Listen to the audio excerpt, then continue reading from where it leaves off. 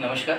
माझं नाव सचिन केरकर मी जिनियस लर्निंग इन्स्टिट्यूटला ॲज एम एरिया मॅनेजर म्हणून बोलतो आहे मनश्री दास ही यावर्षी दहावीच्या शालांत परीक्षेमध्ये सी बी एस सीला नाईंटी थ्री पर्सेंट तिला मिळालेले आहे. आणि विशेष यांनी एका मनश्रीने एकाही विषयाची ट्युशन नाही लावली आहे. आणि सांगायचं तात्पर्य असं आहे की मनश्री स्व जेव्हा मी सुरुवातीला मनश्रीला भेटलो तिच्याकडे आलो तिच्याशी ॲडमिशन तिची ऑलरेडी झाली होती पण तिच्याशी भेटलो बोलणं झालं तिच्याशी तर तिच्या फॅमिलीमधून आईमधून आणि वडिलांमधून आणि तिच्यामधून जे पॉझिटिव्ह व्ह्यूज मला जिनियसबद्दल मिळाले त्या जिनियसला घेऊन या प्रोग्रामला घेऊन त्या सेल्फ स्टडी बेसला घेऊन जे पॉझिटिव्ह व्ह्यूज मिळाले त्याला घेऊन तिने जे सुरुवात केली तिच्याकडे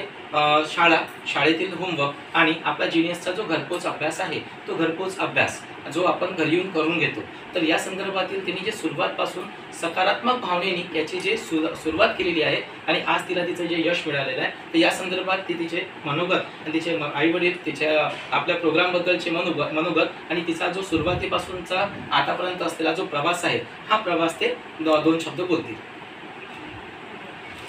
मेरा नाम मनश्री राजेश दास है और मैं अग्रगामी कॉन्वेंट स्कूल नौसारा में पढ़ती हूँ। अभी हमारा रिज़ल्ट आया है मुझे 93 परसेंट मिले हैं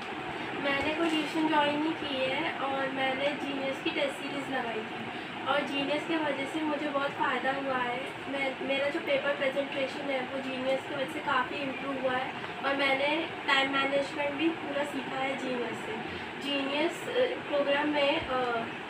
एग्ज़ाम के पहले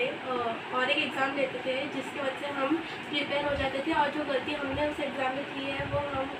रिकवर करते थे और फिर उसके बाद हम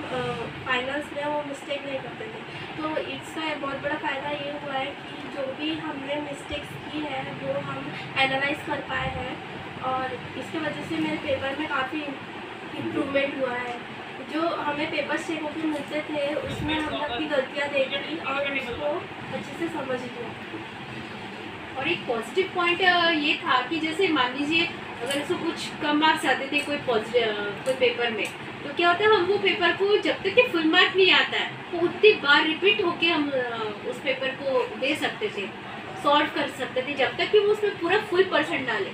सो और हर बार भी अमरावती या अकोला से जो बोर्ड्स के टीचर्स हैं ना सर बोर्ड्स के टीचर जो है, जो एक्सपीरियंस जो रिटायर्ड टीचर है बोर्ड के, वो चेक उनसे चेक होके आता था ये paper that is a means positive major positive point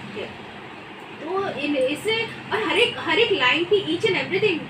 they are showing the mistake where where she is